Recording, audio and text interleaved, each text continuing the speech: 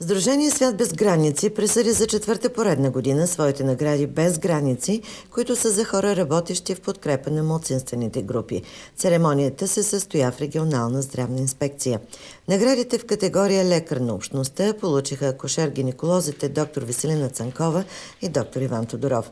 Те бяха връчени от областният управител на Стара Загора Гергана Микова и от заместник мета на общината Иванка Сочирова. Призът в категория студент на общността беше присъден на Глина Стефанова, четвъртокурсничка в Тракийския университет, специалност медицинска сестра. Тя получи наградата от доцент доктор Дарина Заимова, заместник ректор на университета. Екипът на BTV в Ямбол взе наградата в категория Лоялна медия към общността. Репортерът Дания Танасова и операторът Винилин Николов разказаха историята на малкия Бариам от село Тъжа. На 10 годишното дете бе направена трансплантация на бъбрек в Германия, а донор стана неговата баба. Бариам също присъства на церемонията и получи подаръци. Наградата на журналистите връча председателят на управителния съвет на Сдружението Ганчо Илиев.